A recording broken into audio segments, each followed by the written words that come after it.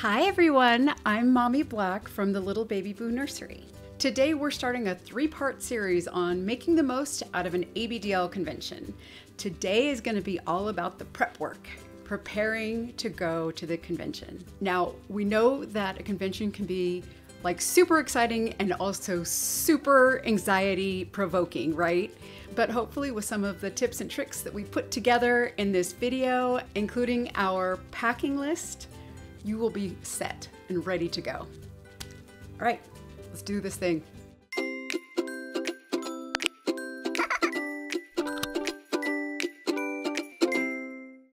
So, I've created this handy dandy little packing list for you, and it's totally free for you to download. It's at littlebabyboonursery.com. And it includes a bunch of things from super important things like IDs and insurance cards to fun stuff that you would need at specifically an ABDL function. Most of the list is pretty standard, like clothes, shoes, whatever. But there are a few things that I wanted to go over because I think that they're super important. So you'll notice on here in muy importante, I put to bring some cash. And that's because at a couple of different conventions that I've been to, people have um, tried to use their credit cards and it just, they just wouldn't work. So they're kind of stuck. So I would bring a little bit of cash um, just to tide you over if you need to like take an Uber to the ATM or whatever, or actually, very importantly, to tip, to leave a little something for the housekeeper or whomever you'd like to. Okay, so this is your time to shine. All of the cute things that you have that you've been wanting to try on, this is the time to bring them out and to wear them. Almost everybody is going to be dressed up in really cute attire. Also, remember to bring layers. It's going to be like 50 bazillion below zero in Chicago, but inside of the hotel, it's really kind of warm. So make sure that you have layers to be able to go from room to room. Some rooms might be cooler than others. So bring layers. Remember to bring slippers, room slippers or slippers to like go and get ice or whatever, because as much as they clean the hotel floors, hotel floors are not clean. Okay, they've got they've got stuff on them that I can't mention here. Okay, so bring cute little slippers that you have that you can show off and be like, look how cute I am and these these cute slippers. But don't bring stuff like this because you're gonna need to wash them. these don't wash very well. Or you can bring like socks or flip flops. Flip flops are another good one. For those of you who wear diapers, you want to bring enough diaper supplies. There's a whole section of the list that's dedicated to that. I know that there is a service that the hotel is providing where you can pre order your diapers and have them there ahead of time. I believe that there's a small fee, but um, that information should be able to be found on capcon.club, I think is the website. If you're flying in, be sure to check with TSA and your airlines to see how much powder, baby powder, you can bring on because I know that they sometimes limit baby powder. Also, when you're bringing in supplies, check out the little teeny tiny mini ones because I, I don't think that you're gonna need more than like a travel size mini one. I mean, unless you have like a major rash, which you might want to go to the doctor for. I'm just I'm just saying. I'm just saying. Maybe you know a big convention is not where you want to go. I'm just saying. I'm just saying. But um, yeah, be sure to check TSA to make sure that you are following directions because you don't want to start your trip off in on a terrible note. And speaking of TSA, I'm going to give you some advice later on on the best way to travel when you're trying to travel padded. Um, it's basically for people who don't normally wear or normally wear for incontinence reasons. Um, just some advice on that from experience. Bring disposable potty pads. They're also, well, the ones that I use for disposable are really just the doggy pee pads because um, they're less expensive and they are just as good.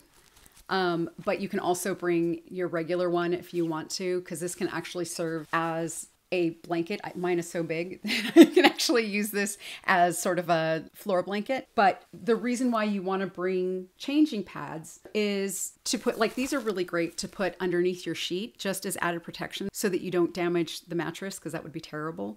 Also, when you're being changed out in the public changing areas, they're not public changing areas, they're behind little curtains and stuff. You want to make sure that you protect yourself from the icky stuff of the person who may have changed before you and maybe did not clean it well. I'm just saying. So it's for your protection and other people's protection. Be safe. Also, remember to bring individual diaper bags, disposal bags. And these you can buy either the larger ones that are meant for diapers, or you can get the super large ones that are, again, doggy bags. That's just good for adding an extra layer of, um, let's just say, an odor barrier when you're tossing your, um, your used diapers. Everyone will thank you for it. And this next one is the most important, of course, of all. They're the comfort items.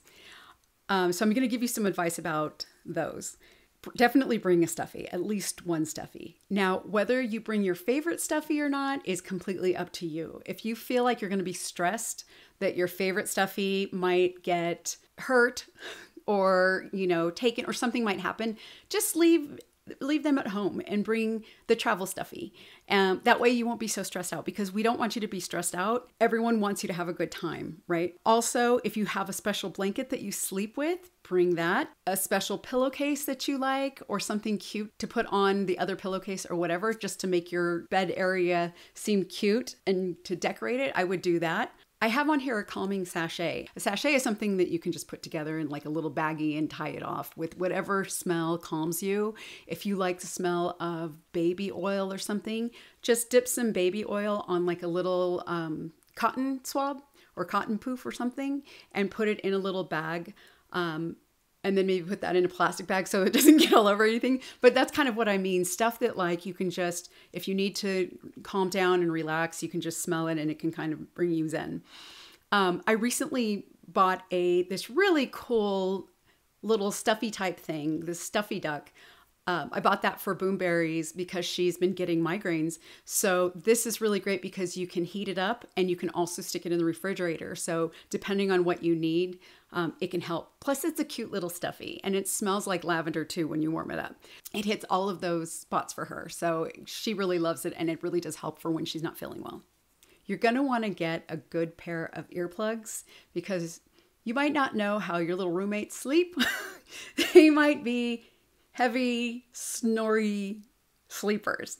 So get some earplugs. Now, I just got these. These are loop loop earplugs. Well, these are yeah, the ones that drown out noise, but loop I just found out about them from Boomberries. They actually are meant for people who get distracted very easily or who have issues with um, noise sensitivity. They can help focus the voice on whomever you're talking to and kind of keep out the noise of everyone else. So you might want to look at that. So they go in and they twist into your ear and then they just kind of hide in your ear like this. So these are the noise cancellation ones. They're not as good as probably like um, the ones, the little squishy ones that you put in, but it's it's a good way to just kind of get a little bit of quiet. She says that they're really helpful for her.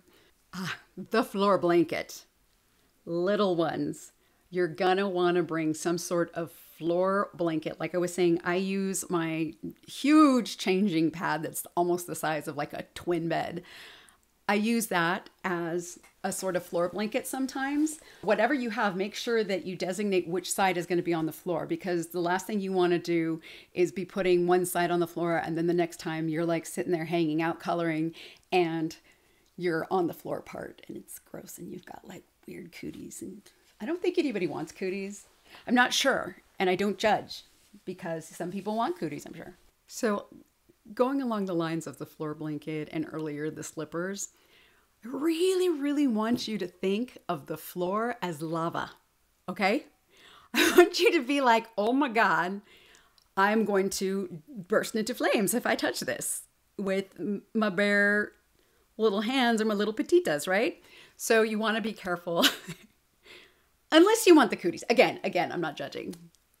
So if you're there and you have a bathtub, you are going to want to bring a bath toy. So bring a bath toy. I'm so hilarious.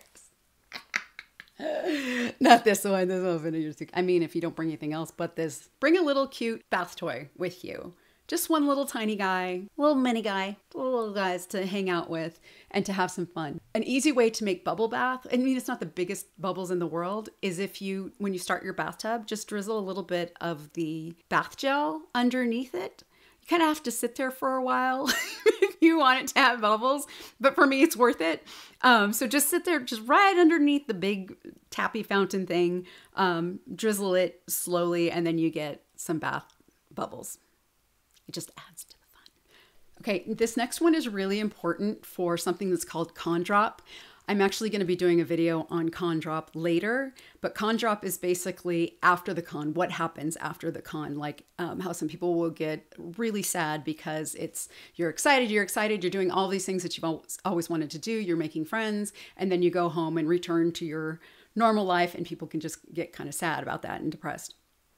So, a lot of the things that I'm telling you to bring are going to help with con drop after. One of those things is a journal or a drawing book. So, this one that I have right here, it's just a regular little little pad. It's a dot notepad and it helps for you to keep straight lines, but you can also use it for drawing and stuff. In the next video, I'm going to be talking about making the most of a convention and you're going to utilize this journaling a lot. Definitely bring one. I'm telling you, you're going to want one. But you know, don't listen to me. That's fine. No one wants to listen to mommy until it's too late. You're also going to want to bring crayons or colored pencils or colored pens, whatever you like to work with. You're going to want to bring some of those too. Okay, for your passy, because you're, you know, a lot of you are going to have passies, be sure to bring the cover because when you're out and about and rolling around, we don't want this to get onto the lava floor, right? Because that is no bueno. No bueno. I know that you, a lot of you have really cute glass bottles, but for these ABDL conventions, you're going to want to bring a plastic bottle because glass isn't allowed in some of the areas. So be safe instead of being sorry and bring a plastic one. Boone just got a really cool one that's a bigger, I think, Nalgene bottle that is fitted with a nipple on top of it and it can be customizable. Same thing with the sippy cup. If you have a sippy cup, make sure that it is plastic. So, say you need something a little bit more substantial than either of those, I'm bringing this. The Boones got me like a bunch of stickers for Christmas, and I had no idea what to do with them. So when she came to visit me again, she was just like, Well, I don't want my stickers. And I was like, I don't know what to do with them. And she's like, Well, the cool kids put them on their water bottles. So that's what I'm to do. I'm to deck this out in stickers. And I'm also going to bedazzle the side with mommy so that no one else steals it.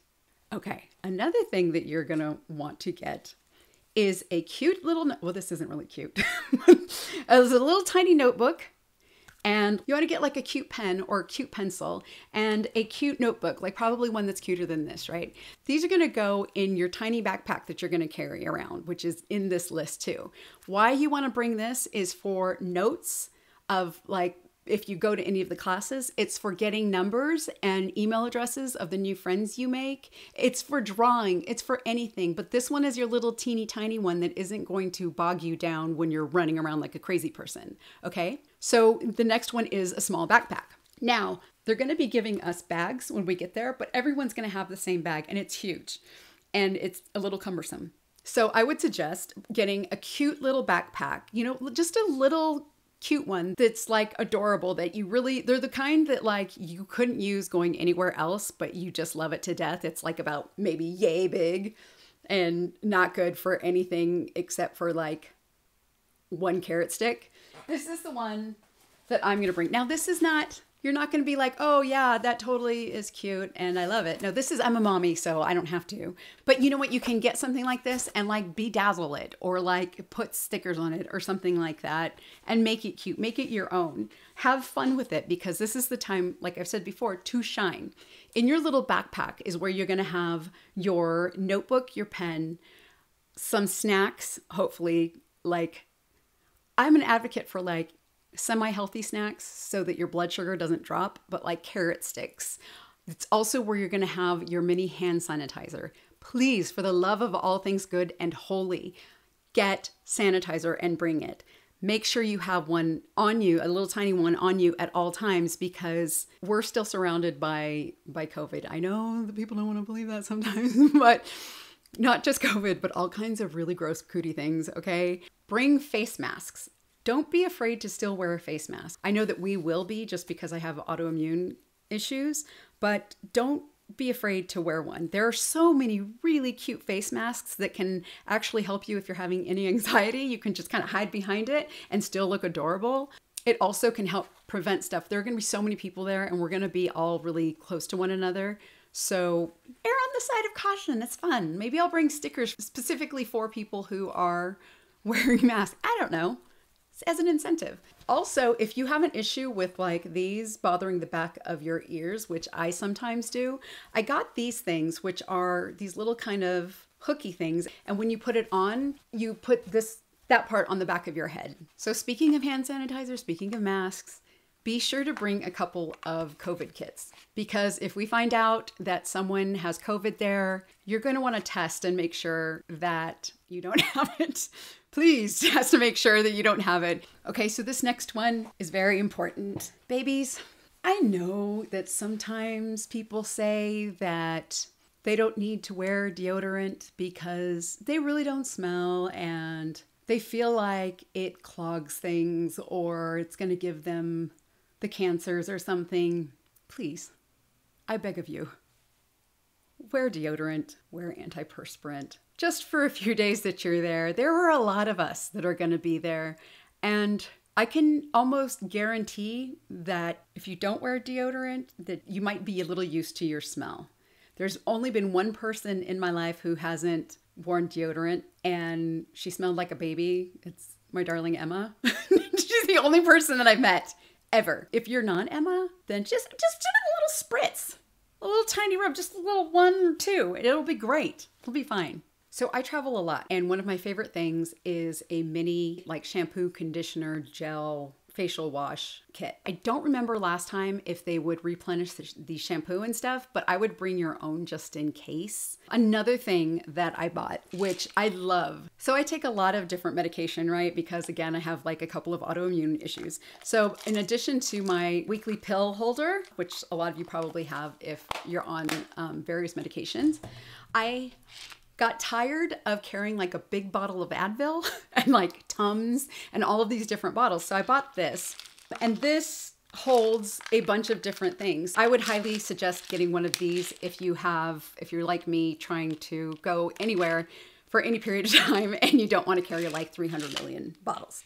At places like Target and Walmart, you can go and head to the travel section where they'll have like little sample packets of things. Another good thing to get is a little packet of laundry detergent. In case you leak or something, you can just hand wash something in the sink and hang it to dry. You'll also find, I mean, the stuff in the travel section is so cool. It's like miniature everything, and you just want to buy them. You want to buy everything because it's so cute. It's just like this big. They're adorable. So you're also going to want to bring some snacks that you don't have to refrigerate because most of the rooms there don't have refrigerators. So that is like trail mix, um, protein bars. I highly recommend getting some protein bars because again, you guys are going to be running around like crazy people and you're going to need that protein. Make sure to get water. Water, water, water, hydrate. One of the things that I do if I'm not feeling water is I get a little stir in type thing. I mean, you could also get like a lemon and put lemon wedges or something in there. Flair. Those of you who are older and know the movie Office Space will know what I'm talking about. Basically, when you get there and you have your lanyard, a lot of people will put flair and bling on their lanyard. So just all these cute little pins to just put a little zhuzh, you know, on you, a little bling bling when you're walking around and people are like, oh, what's that? And you can be like, oh, that's my flair. It's so cool, right? So you're going to want to bring some cute pins because it's just fun and cute. A really cool thing about ABDL conventions is that we're almost like a big happy family when we're there. Well, some people are. Some people aren't. Not everybody is. What I thought is cool, the last cap, was that people would make things and then they'd pass it out for free. So they were sharing these cute little bracelets that they were just giving out for free and just spreading the love. And I just think that is so cool. If you are not necessarily like super creative when it comes to these or to making, you know what, these are great friendship bracelets, another great thing, just stickers Just giving out stickers to people and be like, hey, you're cute. Here's a sticker love stickers. I love stickers. I also love glitter, but you know, it's frowned upon when you go throwing glitter at people. And last but not least for the list is to leave try try try to leave room in your suitcase to bring stuff back with you because there are going to be a lot of vendors there and they are small businesses and this is when we want to support people in the community that are making things because if we want our community to be more robust for, for things that we want um, we want to support our our small businesses, right? So be sure to leave some room. Instead of packing like however many days you're going to be there, that many like onesies, maybe you just bring like two and plan to buy a couple from people who are there. That way you're supporting them and you're getting really cute new things and everyone's happy. So if you want to fly while padded, that's fantastic and it's a great way to fly. But there are a couple of things that you need to keep in mind. If you are not incontinent, my advice is to wait until you've passed through security in order to change into a diaper. I've had my littles and friends of mine experience the most terrible things when going through airport security and engaging with TSA. They've been pulled over, they've been meant to strip, they've been laughed at, they've had their diapers swabbed, their penises swabbed for um, residue and stuff like that. So if you don't have to, that would be my suggestion. Granted, you can if you want to, but you know, why just why not just wait a little bit? Now, if you're incontinent and you have to wear diapers, you've already been through this. My suggestion for you is to make sure or try to be dry when you're going through airport security. That was uh, some advice given to me from young bean who has been through this many times before. But if you're incontinent, you've you know you you've already got it down, I'm sure. My thought process is just have this expectation that you are going to be pulled to the side for whatever reason and you know gone over. Odds are you're not going to but just prepare. So like have on you what you're okay being searched wearing you know? And then when you've gone through security that's when you just go to the restroom and you just put on your little your little pantaloons you know and then you get nice and comfy babies it is not okay to mess your diapers on the plane or around any other people, period. But I know that none of you are going to do that, right? So other than all that stuff, hopefully some of these gave you some ideas or reminded you, like, oh my God, I, I forgot that. So just go over to littlebabyboonursery.com and I'll have a link there somewhere that's like, hey, here's where you can get that. If you have any other ideas, please leave them in the comments below. If this helped you, please do a little thumbs up and also subscribe to the channel because part two is going to be coming out in the next few days, hopefully. You definitely want to subscribe because we're going to be coming out with all kinds of fun stuff, you know, fun videos and stuff for your viewing pleasure. Okay? So I am super excited. I know you guys are probably super excited, maybe a little bit terrified, but the next video is going to go into how to make the most out of the convention and it goes into the fun stuff. Well, it's all fun stuff, right? So I look forward to seeing you guys at CapCon if you guys are going to be there or whatever convention that you guys are preparing for. And stay safe. All right, I'll see you guys later. Bye. Oh, Jesus Christ. Jesus.